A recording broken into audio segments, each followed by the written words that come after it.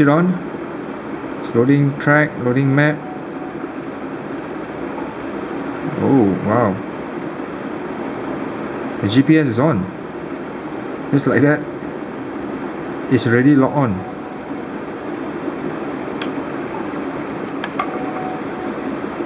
I'm impressed. Start GPS yes. Yep it's locked on immediately so just to cheat the system a little bit. Uh-huh. So you get the uh, pace the calorie lap time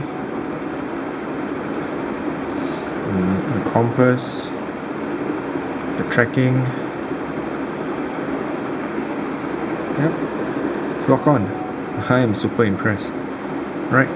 So now I can't wait to uh, try the watch out in the uh, what I call uh, in the trail. Thanks for watching. I'll be back with more reviews soon